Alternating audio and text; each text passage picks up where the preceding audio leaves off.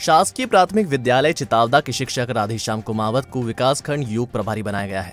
बारह पत्थर स्थित भाटी दिव्य योग पर कुमावत का स्वागत अभिनंदन किया गया। बीआरसी रमेश देवड़ा ने बताया कि शिक्षा विभाग अब योग के ज़रिए सभी को स्वस्थ रखने का अभियान चलाएगा।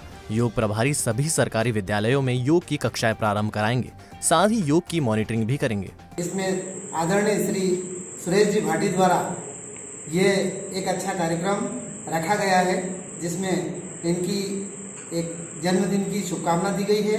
और महतपुर तहसील के ये योगाचार्य प्रभारी रहेंगे। ऐसा इनका मतलब जो है तो प्रभार दिया गया है।